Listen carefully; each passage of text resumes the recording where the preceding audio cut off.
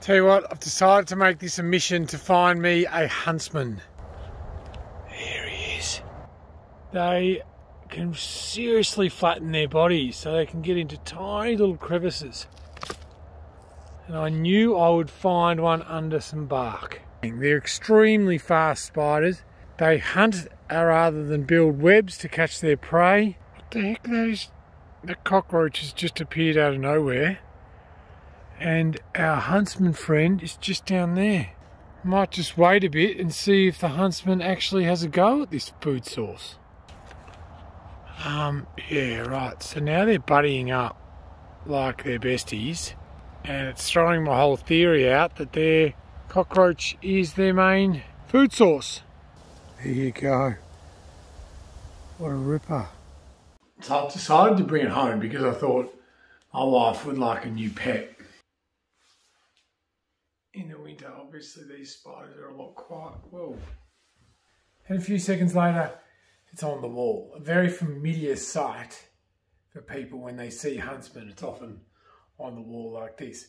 Now, I actually thought because it's winter and it was cold, it might have slowed it down, but it hasn't at all. A bite from a huntsman is not going to kill you. It might hurt a little bit, but their venom is not a worry for us. Huntsmen have actually got cross-facing fangs. So when it bites you, it sort of pinch, it's like a pincer. It's actually really good for catching prey, as you can imagine, because it can, they can hold on with their fangs as well as they can envenomate. I can tell it's a female because she's quite a large abdomen and her pedipalps, the small little appendages at the front of her mouth parts, are a bit smaller than they are in the male because the male uses them to deposit sperm into the female, so they need to be a bit bigger. And they actually use them in kind of like a mating dance where they sort of display them around. Unlike a lot of other spiders, the males and females won't fight or won't eat each other after they're mated. This, by the way, is called a social huntsman. Most common huntsman we'll find around. As you can see, their front legs are longer than their back legs. It makes it really easy for them to move in all different directions and slide into small spaces.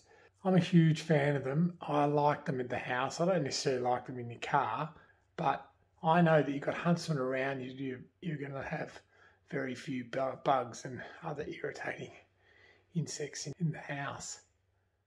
So most of the spiders they used in the movie Arachnophobia were these spiders. I'll try and reenact a similar scene to the movie.